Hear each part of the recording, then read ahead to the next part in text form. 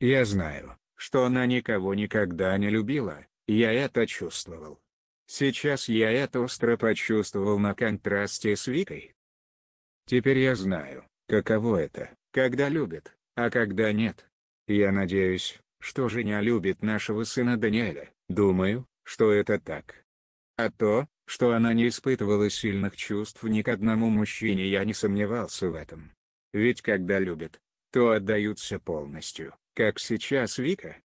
Мне не обидно это слышать от жени, мы оба к разводу подошли осознанно, у меня нет никаких сожалений, неприятно то, что распалась семья. Я не знаю, что значит любовь для жени и не понял до сих пор. Так что я не удивлен